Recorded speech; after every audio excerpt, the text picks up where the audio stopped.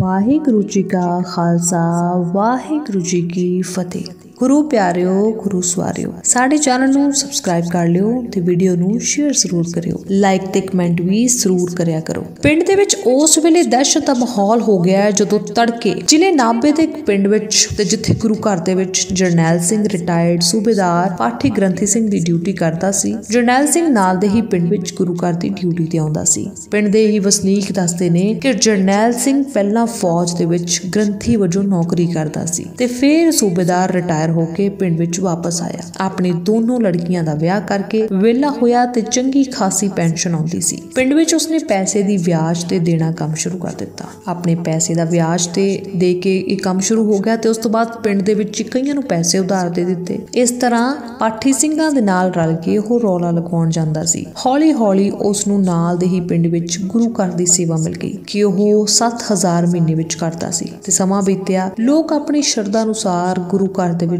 ਕੁਝ ਨਾ ਕੁਝ ਦਾਨ ਭੇਟ ਕਰਦੇ ਸਨ। ਜਰਨੈਲ ਸਿੰਘ ਉਸ ਉੱਤੇ ਆਪਣਾ ਹੱਕ ਸਮਝ ਕੇ ਘਰ ਲੈ ਜਾਂਦਾ। ਆਟਾ, ਦਾਲ, ਮਠਾਈਆਂ, ਪ੍ਰਸ਼ਾਦ, ਅਜਿਹੀ ਕੋਈ ਵੀ ਵਸਤੂ ਨਹੀਂ ਸੀ ਜੋ ਉਹ ਆਪਣੇ ਘਰ ਨਹੀਂ ਲੈ ਕੇ ਜਾਂਦਾ। ਇਹ ਗੱਲ ਸ਼ਾਇਦ ਤੁਹਾਨੂੰ ਪਤਾ ਨਹੀਂ ਹੋਵੇਗੀ। ਜੇਕਰ ਕੋਈ ਸਿੰਘ ਕਿਸੇ ਦੇ ਘਰ ਲੰਗਰ ਛਕਣ ਜਾਂਦੇ ਨੇ, ਤਾਂ ਉਹ ਬੇਨਤੀ ਚੌਪਈ ਦਾ ਪਾਠ ਜ਼ਰੂਰ ਕਰਦੇ ਨੇ। ਤਾਂ ਹੀ ਉਹ ਲੰਗਰ ਲੇਖੇ ਲੱਗਦਾ ਹੈ। ਤੇ ਇਹੋ ਸਿੱਖ ਧਰਮ ਦੇ ਵਿੱਚ ਮਰਿਆਦਾ ਹੈ ਇੱਥੇ ਤਾਂ ਜਰਨੈਲ ਸਿੰਘ ਗੁਰੂ ਘਰ ਦੀ ਸਮੱਗਰੀ ਆਪਣੇ ਘਰ ਲੈ ਕੇ ਜਾਂਦਾ ਰਿਹਾ। ਹਾਂ, ਜੇ ਉਹ ਸਮੱਗਰੀ ਕਿਸੇ ਗਰੀਬ, ਲੋੜਵੰਦ ਦੇ ਮੂੰਹ ਪਾਉਂਦਾ ਉਹ ਠੀਕ ਮੰਨਿਆ ਜਾਂਦਾ। ਪਰ ਆਪਣੇ ਘਰ ਦੇ ਵਿੱਚ ਹਰ ਇੱਕ ਚੀਜ਼ ਹੋਣ ਦੇ ਬਾਵਜੂਦ ਵੀ ਉਸਨੇ ਆਪਣੀ ਆਦਤ ਨਹੀਂ ਛੱਡੀ। ਹੌਲੀ-ਹੌਲੀ ਗੁਰੂ ਘਰ ਦੇ ਵਿੱਚ ਪੈਸੇ ਆਉਣ ਲੱਗੇ ਤੇ ਉਹ ਪੈਸੇ ਦੀ ਫਿਰ ਹੇਰ-ਫੇਰ ਕਰਨ ਲੱਗਾ। ਲੋਕ ਕਹਿ ਦਿੰਦੇ ਸਨ ਕਿ ਰੱਬ ਨੂੰ ਪੈਸਿਆਂ ਦੀ ਕੀ ਲੋੜ? ਗੱਲ ਤਾਂ ਠੀਕ ਹੈ, ਰੱਬ ਨੂੰ ਪੈਸਿਆਂ ਦੀ ਲੋੜ ਨਹੀਂ, ਪਰ ਗੁਰਦੁਆਰਾ ਸਾਹਿਬ ਦੇ ਪੈਸਿਆਂ ਦੇ ਉੱਤੇ ਗਰੀਬ, ਲੋੜਵੰਦ ਦਾ ਹੀ ਹੱਕ ਹੁੰਦਾ ਹੈ। ਉਹ ਪੈਸਾ ਰੱਜਿਆਂ ਨੂੰ ਰਜਾਉਣ ਵਾਸਤੇ ਨਹੀਂ ਹੁੰਦਾ। ਸੋ ਇਸੇ ਤਰ੍ਹਾਂ ਗ੍ਰੰਥੀ ਸਿੰਘ, ਜਰਨੈਲ ਸਿੰਘ ਨੂੰ ਆਪ ਆਪਣੇ ਘਰਾਂ ਵਿੱਚ ਲੰਗਰ ਦੇ ਲਈ ਸੱਦਣ ਲੱਗੇ।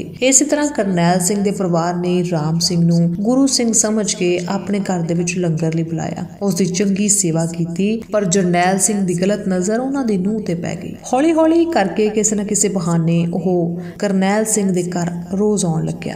ਹੁਣ ਇੱਥੇ ਦੇਖਣ ਵਿੱਚ ਜਰਨੈਲ ਗੁਰਸਿੱਖੀ ਲੱਗਦਾ ਸੀ, ਪਰ ਉਸਦੇ ਕਰਮ ਮਨਮੁਖ ਬੰਦੇ ਨਾਲੋਂ ਵੀ ਗੁਜ਼ਰੇ ਸੀ। ਗੁਰੂ ਘਰ ਦੀ ਸੇਵਾ ਤਾਂ ਦੂਰ ਦੀ ਗੱਲ ਹੈ। ਗੁਰੂ ਘਰ ਦੇ ਵਿੱਚ ਐਂਟਰ ਕਰਨਾ ਵੀ ਇਹੋ ਜਿਹੇ ਬੰਦਿਆਂ ਉੱਤੇ ਕਹਿੰਦੇ ਰੋਕ ਲਾਉਣੀ ਚਾਹੀਦੀ ਸੀ। ਪਰ ਉਸਨੇ ਕੀ ਕੀਤਾ? ਹੌਲੀ-ਹੌਲੀ ਕਰਕੇ ਉਹਨਾਂ ਦੀ ਨੂੰਹ ਦੇ ਨਾਲ ਛੇੜਖਾਨੀ ਕਰਨੀ ਸ਼ੁਰੂ ਕੀਤੀ। ਪਰ ਵਿਚਾਰੀ ਉਹ ਲੜਕੀ ਡਰਦੇ ਮਾਰੇ ਉਸਨੇ ਘਰ ਵਿੱਚ ਕਿਸੇ ਨੂੰ ਕੁਝ ਨਾ ਦੱਸਿਆ। ਇਸ ਤਰ੍ਹਾਂ ਜਰਨੈਲ ਸਿੰਘ ਨੂੰ ਪਤਾ ਲੱਗਿਆ ਕਿ ਕਰਨੈਲ ਸਿੰਘ ਉਹਨਾਂ ਦੇ ਪੁੱਤਰ ਨੂੰ ਪੈਸਿਆਂ ਦੀ ਲੋੜ ਹੈ। ਉਹ ਵਿਆਜ ਦੇ ਉੱਤੇ ਪੈਸੇ ਲੈਣ ਦੀ ਕੋਸ਼ਿਸ਼ ਕਰ ਰਹੇ ਸਨ। ਜਰਨੈਲ ਸਿੰਘ ਨੇ ਕਿਹਾ, ਮੈਂ ਤੁਹਾਨੂੰ 2 ਲੱਖ ਰੁਪਇਆ ਵਿਆਜ ਤੇ ਦੇ ਦਿੰਦਾ ਤੇ ਇੱਥੇ ਜਰਨੈਲ ਸਿੰਘ ਨੇ ਗੁਰੂ ਘਰ ਦੇ ਖਜ਼ਾਨੇ ਵਿੱਚੋਂ ਹੀ 2 ਲੱਖ ਰੁਪਇਆ ਕਰਨੈਲ ਸਿੰਘ ਦੇ ਪਰਿਵਾਰ ਨੂੰ ਦਿੱਤਾ ਤੇ ਉਹ ਪੈਸਿਆਂ ਦਾ ਵਿਆਜ ਖਾਣ ਲੱਗਿਆ।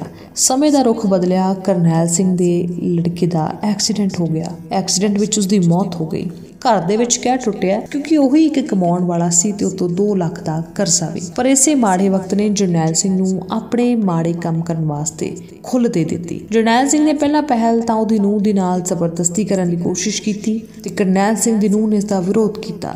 ਜਦੋਂ ਗੱਲ ਨਾ ਬਣੀ ਤਾਂ ਜਰਨੈਲ ਸਿੰਘ ਨੇ ਆਪਣੇ ਦਿੱਤੇ ਗਏ 2 ਲੱਖ ਵਿਆਜ ਪੈਸੇ ਦੇ ਲਈ ਉਸਦੇ ਪਰਿਵਾਰ ਨੂੰ ਤੰਗ ਕਰਨਾ ਸ਼ੁਰੂ ਕੀਤਾ। ਹਰ ਰੋਜ਼ ਉਹਨਾਂ ਦੇ ਪਰਿਵਾਰ ਦੇ ਪਿੰਡ ਸਾਹਮਣੇ ਬੇਇੱਜ਼ਤੀ ਕਰਨੀ। ਜਦੋਂ ਉਹਨਾਂ ਦੀ ਨੂੰਹ ਨੇ ਦੱਸਿਆ ਕਿ ਜਰਨੈਲ ਸਿੰਘ ਮੇਰੇ ਨਾਲ ਜ਼ਬਰਦਸਤੀ ਕਰਨ ਦੀ ਕੋਸ਼ਿਸ਼ ਕਰਦਾ ਸੀ ਤਾਂ ਕਿਸੇ ਪਿੰਡ ਵਾਲੇ ਨੇ ਉਹਨਾਂ ਦਾ ਯਕੀਨ ਨਹੀਂ ਕੀਤਾ, ਕਿਉਂਕਿ ਲੋਕਾਂ ਨੂੰ ਇਹੀ ਲੱਗ ਰਿਹਾ ਸੀ ਕਿ ਪੈਸੇ ਨਾ ਦੇਣ ਕਾਰਨ ਉਹ ਗ੍ਰੰਥੀ ਸਿੰਘ ਦੀ ਉੱਤੇ ਜਿਹੇ ਇਲਜ਼ਾਮ ਲਾ ਰਹੀ ਹੈ। ਹੌਲੀ-ਹੌਲੀ ਜਰਨੈਲ ਸਿੰਘ ਨੇ ਉਸ ਪਰਿਵਾਰ ਨੂੰ ਪੁਲਿਸ ਦੇ ਕੇਸ ਦੀਆਂ ਧਮਕੀਆਂ ਦੇਣੀਆਂ ਸ਼ੁਰੂ ਕੀਤੀਆਂ। ਹਾਰ ਕੇ ਕਰਨੈਲ ਸਿੰਘ ਦੀ ਨੂੰਹ ਨੂੰ ਜਰਨੈਲ ਸਿੰਘ ਦੇ ਅੱਗੇ ਝੁਕਣਾ ਪਿਆ। ਜਰਨੈਲ ਸਿੰਘ ਆਪਣੇ ਆਪ ਨੂੰ ਗੁਰੂ ਦਾ ਸਿੰਘ ਕਹਿਣ ਵਾਲਾ। ਉਹ ਸਮੇਂ ਦੀ ਮਾਰੀ ਹੋਈ ਔਰਤ ਦੇ ਨਾਲ ਗਲਤ ਕੰਮ ਕਰਦਾ ਰਿਹਾ ਤੇ ਜਦੋਂ ਉਸ ਸਮੇਂ ਦੇ ਨਾਲ ਨਾਲ ਉਸ ਦਾ ਮਤਲਬ ਨਿਕਲ ਗਿਆ, ਤਾਂ ਫਿਰ ਉਸ ਨੂੰ ਪਰਿਵਾਰ ਬੁਰਾ ਲੱਗਣ ਲੱਗਾ ਤੇ ਪਰਿਵਾਰ ਨੂੰ ਪੈਸਿਆਂ ਦੇ ਲਈ ਫਿਰ ਉਸਨੇ ਤੰਗ ਕਰਨਾ ਸ਼ੁਰੂ ਕੀਤਾ। ਕਿਉਂਕਿ ਗੁਰੂ ਘਰ ਦਾ ਪੈਸਾ ਜਰਨੈਲ ਸਿੰਘ ਨੇ ਕਰਨੈਲ ਸਿੰਘ ਦੇ ਪਰਿਵਾਰ ਨੂੰ ਵਿਆਜ ਤੇ ਦਿੱਤਾ ਹੋਇਆ ਸੀ। ਘਰ ਦੇ ਵਿੱਚ ਕਹਿੰਦੇ ਪੈਸਿਆਂ ਦੀ ਬਹੁਤ ਲੋੜ ਪਈ। ਬਾਕੀ ਲੋਕ ਬਾਰ-ਬਾਰ ਪੈਸਿਆਂ ਬਾਰੇ ਪੁੱਛ ਰਹੇ ਸਨ। ਪਰੇਸ਼ਾਨੀ ਦੇ ਵਿੱਚ ਕਰਨੈਲ ਸਿੰਘ ਦੀ ਨੂੰਹ ਕੀਰਤਪੁਰ ਸਾਹਿਬ ਚਲੀ ਜਾਂਦੀ ਹੈ। ਇੱਥੇ ਦੱਸਿਆ ਜਾਂਦਾ ਹੈ ਕਿ ਸਿੰਘ ਦੀ ਨੂੰਹ ਨੇ ਕੀਰਤਪੁਰ ਸਾਹਿਬ, ਗੁਰਦੁਆਰਾ ਸਾਹਿਬ ਦੇ ਵਿੱਚ ਸੇਵਾ ਬਹੁਤ ਕੀਤੀ। ਫਿਰ ਟ੍ਰੇਨ ਦੇ ਥੱਲੇ ਆ ਕੇ ਆਪਣੀ ਜਾਨ ਦੇ ਦਿੱਤੀ। ਉਸ ਦੀ ਨੂੰਹ ਦੀ ਮੌਤ ਦੀ ਖਬਰ ਪਿੰਡ ਦੇ ਵਿੱਚ ਆਈ ਤਾਂ ਉਸ ਤੋਂ ਅਗਲੇ ਹੀ ਦਿਨ ਤੜਕੇ ਜਰਨੈਲ ਸਿੰਘ ਆਪਣੀ ਡਿਊਟੀ ਦੇ ਉੱਤੇ ਗੁਰਦੁਆਰਾ ਸਾਹਿਬ ਆਉਂਦਾ ਹੈ। ਆਪਣਾ ਸਾਈਕਲ ਖੜਾ ਕਰਕੇ ਗੁਰਦੁਆਰਾ ਸਾਹਿਬ ਵੱਲ ਜਾਣ ਲੱਗਿਆ। ਠੋਕਰ ਖਾ ਕੇ ਕਿਸੇ ਤਿੱਖੀ ਚੀਜ਼ ਦੇ ਉੱਤੇ ਜਾ ਡਿੱਗਿਆ